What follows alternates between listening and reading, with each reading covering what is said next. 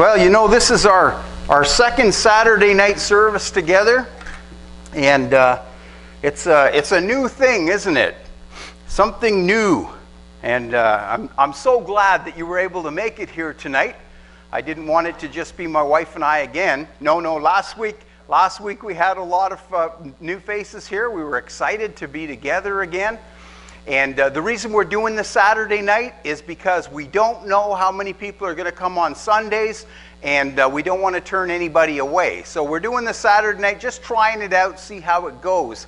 And uh, hopefully it goes um, well. Anyway, uh, t- tonight uh, we have service, but tomorrow morning is service at 10 o'clock and service at 6 o'clock in the evening. And each service is different. Um, we have a different sermon every time, different music every time. Uh, we have bands tomorrow. We don't have a band for Saturday night yet, but uh, we'll look into that and see what happens. But uh, in the meantime, we're glad everybody's watching on uh, video or on the on the what do you call this? live stream. Okay, yeah, Facebook. Okay, I'm so high tech. Um, anyway, it's, it's great to have you all here tonight. Let's pray. Heavenly Father, we thank you so much that we can gather together. We're so grateful that our government allows us to gather together. I know there's limitations, there's all kinds of rules, but that's okay. We're still allowed to be together, and we thank you for that. And Father, we thank you for your word. We thank you for the gift of your Holy Spirit who teaches us as we read your word. We thank you so much. You're such a good, good God. We give you praise and we thank you. Now, Lord, we pray that as we look into your word now, you would speak to us through the power of your Holy Spirit. Thank you so much. We give you praise in Jesus' name. Amen. Amen. Another announcement.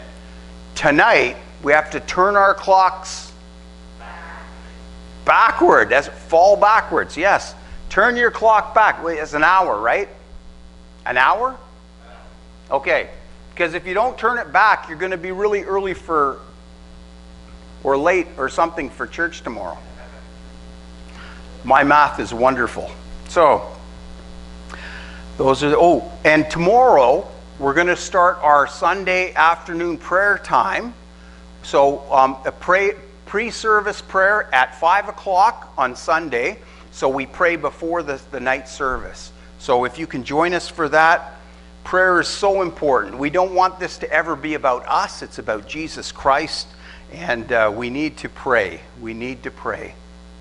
Wow. We're looking at, uh, tonight, we're looking at 1 John chapter 1, verse 1 to 4. And um, this is. Uh, this is a great passage. We're going to read, we're going to study through First John. Every Saturday night, that's what we're going to do. I don't like to pick topics, I like to preach from the Word of God, what we call expository preaching. But uh, this is a great passage of Scripture. Um, John, 1 John 1 1 to 4. That which was from the beginning, which we have heard, which we have seen with our own eyes, which we looked upon, which we have touched with our hands, concerning the word of life. The life was made manifest, and we have seen it, and we testify to it, and we proclaim to you the eternal life, which was with the Father and was made manifest to us.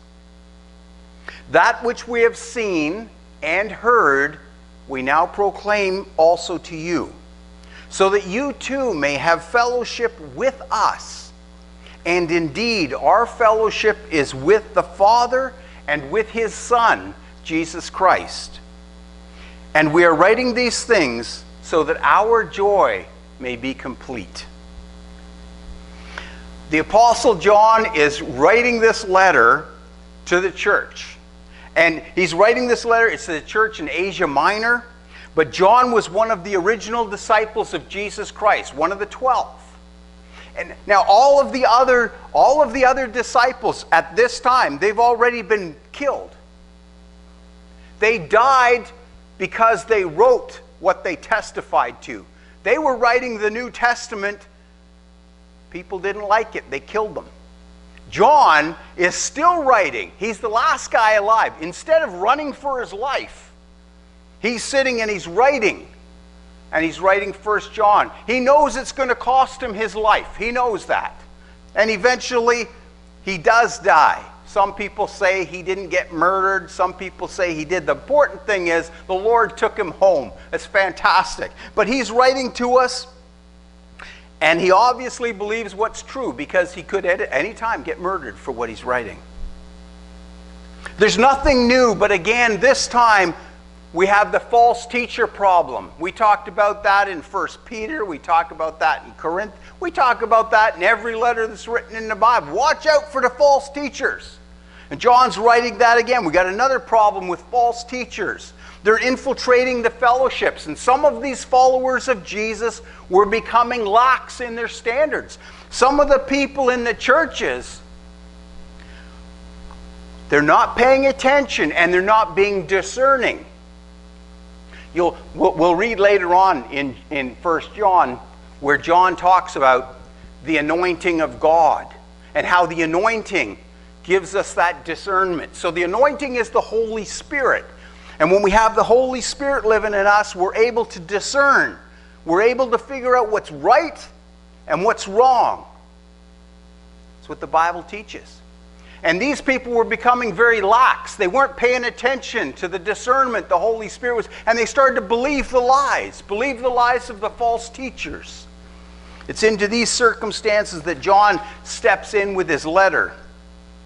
So in verse 1, John says, that which was from the beginning. This refers to the word of life. Well, you wonder, wait a second, the word of life, who is that? What is that? John says the word of life was in the beginning. Well, was the beginning when, when Jesus was born in Bethlehem?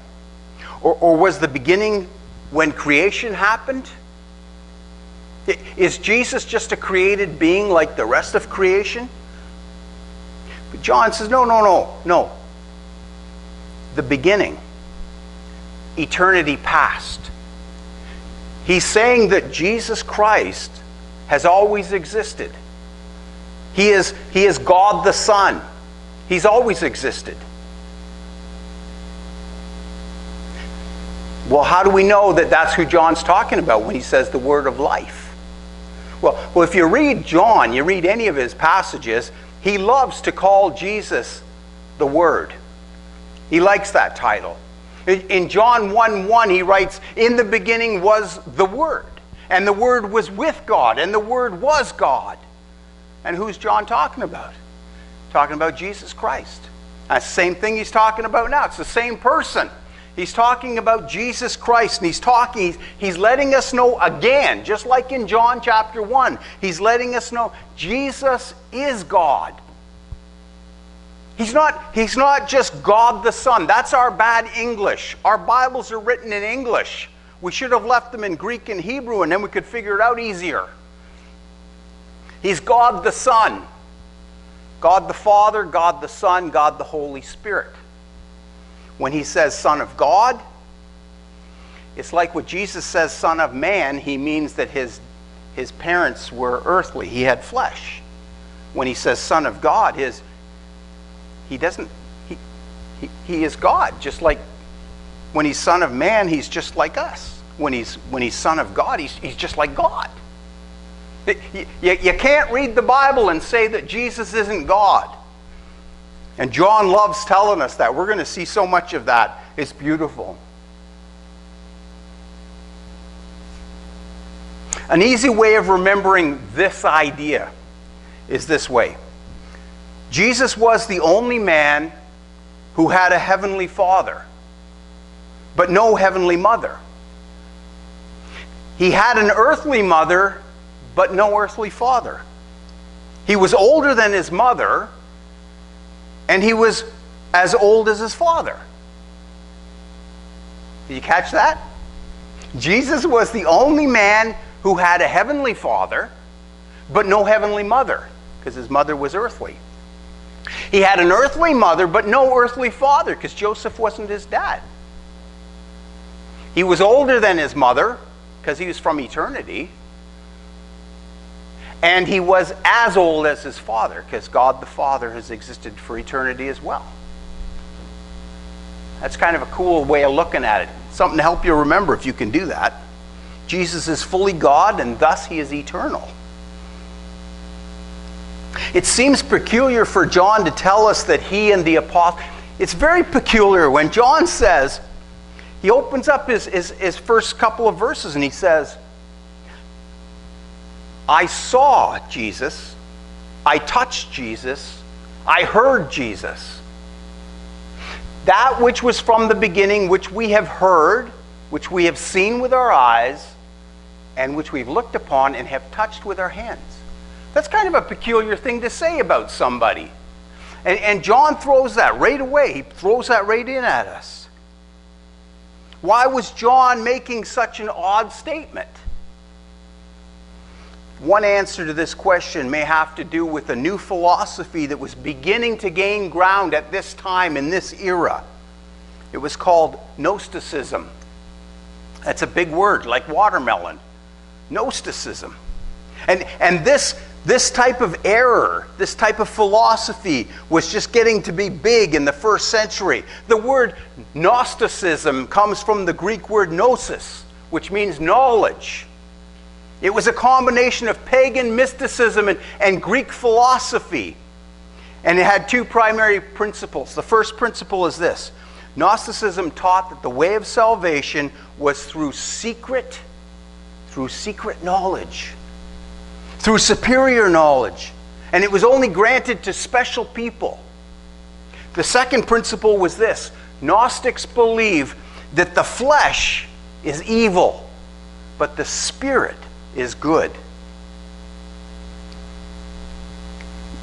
Gnosticism actually, it still exists today, but, but a lot of people don't realize that they're Gnostics, but they believe this stuff.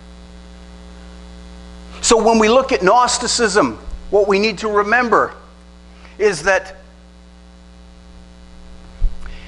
if Jesus came, God the Son came to earth and became a human like us. He took on flesh. That's what it says in Second Philippians, Philippians chapter 2.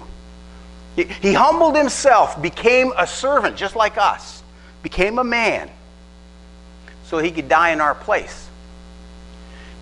If, if if I was a Gnostic, I would say Jesus came, but he didn't take on flesh because flesh is evil. How can God take on evil? He can't. Therefore, the Jesus that was on earth was more of a ghost. He was here, but he was more of a ghost than a real person. Well, first off, John says, wait a second.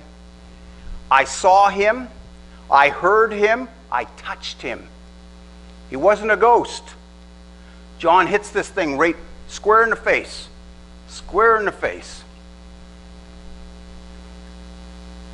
What John is saying is something like this Those Gnostics who slipped into your church are teaching you something that's entirely false. They deny the incarnation of Jesus, that Jesus took on flesh. They deny that. John says, What they deny, I experienced personally.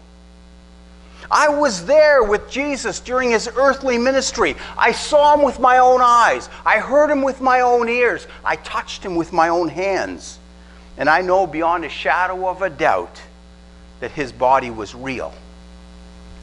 Why is this even important? If Jesus took on flesh or if he just came as a ghost, why is that important? Well, it's important because if Jesus didn't take on flesh, then he really wasn't human like us. And if he wasn't human like us, he couldn't die for us. He wasn't, he wasn't a good substitute for us. He needed to be a human. So Jesus on earth, 100% human, but 100% God. I don't want you to think I'm just saying he's human. He was 100% human, but 100% God. And he needed to be in order to take away the sin of the world. He took my sin and he took your sin and he took it upon himself. He took our death upon himself. A ghost can't die. Jesus had to die as a substitute for us. A propitiation for our sin. I love that word. That's a big one. Propitiation. A satisfactory substitute in the eyes of God. That's what had to be done. And so Jesus had to take on flesh. So if you're a Gnostic, you say, Jesus didn't really take away our sin because he didn't die in the flesh, but he did. He did. This is a problem in the early church in Asia Minor. How does it, how does it affect me today? Well, it affects us today because Gnosticism isn't dead. It, it's only disguised today in new garb. It's disguised. There's been a rising interest in the Gnostic writings of especially in, in recent years. And, and there's been some books that have brought this stuff to our attention, some, some movies. Uh, the Da Vinci Code. That was huge. People were buying the books and watching the movie. It, a lot of Gnosticism is involved in that. And, and so people were getting interested in, and they've started looking into the writings and the, and the teachings. Teachings that deny that Jesus was here in the flesh and that he denied, it, it denies that he died to take away our sin. It's very much alive today. We need to know about this. But Jesus is the word of life because he gives life. He alone can save us from our sins and, and give us eternal life. 1 John 4 2. By this you know the Spirit of God. Every spirit that confesses that Jesus has come in the flesh is from God. Pay attention to that verse. Everybody who confesses that Jesus Christ has come in the flesh is from God. So if someone comes to you and says, No, Jesus didn't come in the flesh, he was just a ghost, that person is not from God. They've got it wrong. They're heretics. It's a false teaching. As one of those who have been chosen by Jesus himself, John testifies to the reality and the truth of Jesus and his good news, his good news message of salvation and eternal life. John says it's true. I heard him, I saw him, I touched him. John, John doesn't mention the name of Jesus until later in verse 3. But he describes Jesus with two further statements, two further things he says about Jesus in verse 2. He says, He was with the Father and he was made manifest. That little phrase, with the Father, that word with, when you, when you look at that in the Greek, the word with is like face to face. It's like it's like I was with my wife. We were face to face. It's not like it's not like we were with each other but we were totally apart. Jesus was with the Father. He was with the Father. He was face to face with the Father. John is emphasizing two things by that phrase, both, both in the previous verse and in 1 John 1 2. Two things that he's emphasizing. The first is that he's equating Jesus with God the Father in terms of deity. Jesus is God. The Father is God. They're equal. Luther said this Where the Son of God is, there Christ is. Where Christ is, there the Father is. They're together, they're one. God the Father, God the Son, God the Holy Spirit. Second, John is saying that he is not putting God the Son and God the Father together as one person. Some people say, Yes, I believe in God the Father, God the Son, and God the Holy Spirit, and they are one, because we know they're, they're one, but, but they put them together as one personality. God the Father came to earth as God the Son, and God the Son became the Holy Spirit to dwell in you. That's what some say. That's not, that's not the Trinity doctrine. That's not the doctrine the church follows. Because that's not what the Bible teaches. The Father is one individual personality. The Son is one individual personality. And the Holy Spirit is one individual personality. But the three of them are God. That's what we teach. And it's very important. It's a very big difference. That guy we were talking about uh, last week, Steven Furtick, Furtick, and T.D. Jakes, they both teach that Jesus, God the Father, became God the Son, became God the Holy Spirit. That's not true. That's a false teaching. It's a, it's a heresy. And they were teaching it back in this early church. It's not nothing new. There's nothing new under the sun, is there? It, it's all old. John is now testifying and proclaiming that Jesus brings forgiveness of sins and eternal life. You know, I don't, I don't know if, if y'all know this, but eternal life isn't what we're looking forward to when we die. Eternal life is what God has given us now. Yeah, it'll, it'll continue on eternally after we die, but we have eternal life now. Jesus said, I came to give life and give it abundantly. He, he's given it to us. He's given us eternal life. There's nowhere in the Bible that says, and when you receive eternal life, it's, it's, it's you've got it. You've got it now. Eternal life isn't the length of your life, eternal life is the quality of your life. My life is better because I have Jesus Christ. My quality of life is way better. It's, it's not that I drive a better car, it's not that I live in a better house. My quality, of, I have joy, unspeakable. That's not something that comes after I die. That's something I have now. I have joy unspeakable. I can't even tell you how joyful I am, even when I'm going through trials. I have peace with God. I have it now. I don't have it when Jesus Christ returns. I, will still have it then. But He gives me peace now with God. Eternal life is that quality of life that we receive now, and it continues forever. Understand that? That's beautiful. It's fantastic. So Jesus came to give us eternal life. John testifies to that. Jesus Christ is the solution to the problem of how sinful people are able to get into a proper relationship with God. He's the solution. Because we're all sinners, we're separated from God, we're separated from His holiness, we're separated from God for eternity because we're all sinners. We need a rescuer. Jesus Christ took on flesh so that He could die in our place because He's the perfect sacrifice, no sin. All of us are sinners. Everybody agree? Yeah, yeah. We're all, we're all sinners. The, all have sinned and fallen short of God's glory. All of us have sinned. God has forgiven us. If we put our faith and our trust in Jesus Christ, God forgives us and cleanses us from all unrighteousness. That's it. The wages of sin is death. Because we're sinners, we deserve death, eternal death. But the free gift of God is eternal life in Christ Jesus. We put our faith and our trust in Jesus, we will have eternal life. The finest quality of life. And it'll last forever if we don't put our faith and trust in Jesus Christ, we will have eternal death. Bible says we're all going to come out of the graves. We're all going to rise.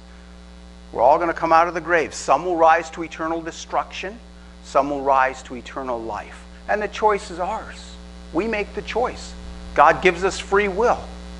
If you love me, you'll choose me. If you don't love me, you won't. It's the same thing we do in our marriages. If I choose to love my wife, Beautiful. If I choose not to love her, we got trouble. We choose to love. Love is always a choice. Let's pray. Father, we thank you so much for this teaching from your word. I thank you so much. I'm so grateful to you that problems existed in the early church because now we can read the letters of how we're to deal with this. God, these, these false teachers. Today, we live in this world, there's so many false teachers. There's so many false teachings around. Oh, we need to be a people who are in the Word, a people who read and study the Word of God, showing ourselves workmen approved by Christ Jesus, rightly dividing the Word of truth. Oh, God, give us the desire to read your Word. Oh, I pray, Lord, that we love you so much because of what you've done for us, that we, that we just want to know more about you. We want to learn more about you, and we just open up the Word of God and we read and we study. How we need you, Lord. How we need you. Thank you so much. Thank you for eternal life through Christ Jesus our Lord. Thank you. We give you praise and honor and glory. We thank you and we ask all these things in Jesus' name. Amen. Amen. Amen.